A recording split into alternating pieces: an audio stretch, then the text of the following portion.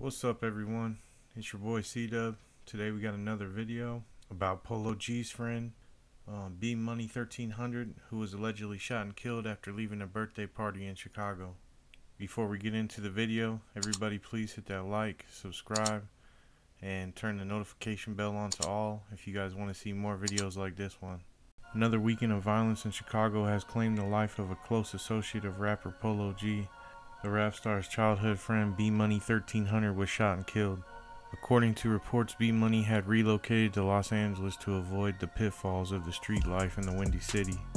He returned home to attend an event, but he was tragically gunned down during his brief time in the city. So, allegedly, this event that B Money had attended was a birthday party, and he was shot outside of the birthday party, I'm guessing. Um, like I said, allegedly, that's not fully confirmed, but um, man, this this guy had gotten out of Chicago to avoid the streets, and still, when he came back to visit for a birthday party from Los Angeles, he was still put in the middle of things and still gunned down. So this is something you don't hear about often. Usually, rappers that get killed in Chicago are ones that never leave. Never uh, try to escape that life, but this guy was trying to escape that life and get away from it and still gunned down um, just visiting family, which is an absolute shame. Um, I tried to do a little digging to find out what was going on with the situation with Polo G and uh, B Money, what kind of gangs they were affiliated with and whatever.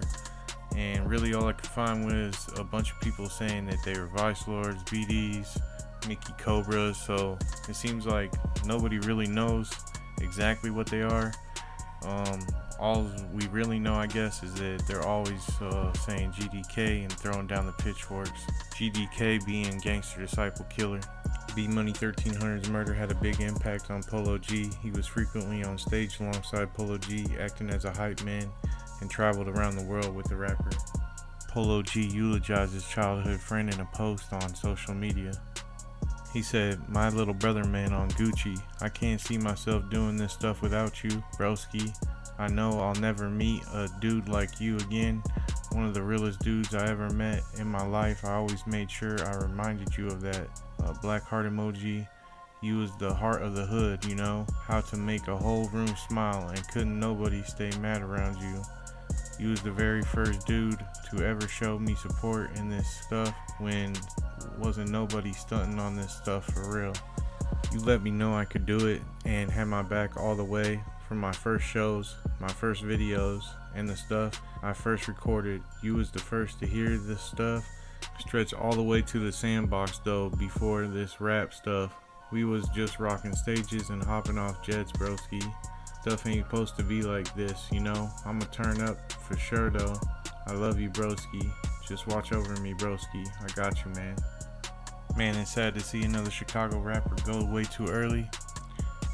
It says uh, this weekend, five people were shot in Chicago and killed, and 40 people were injured.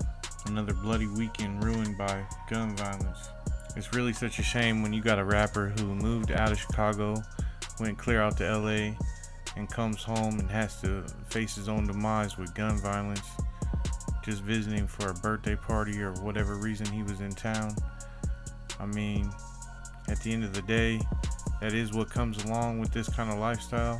Um, like I said, I'm not for sure what set they claim, but I know for sure that they was um, caught up in the street life. We just recently seen uh, drill rapper Edai get shot up in Chicago. Now that's a little bit different since he never did try to escape Chicago.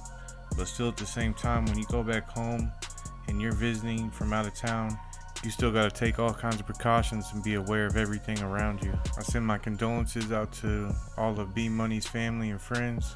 Let me know what y'all think down in the comment section below. Until next time.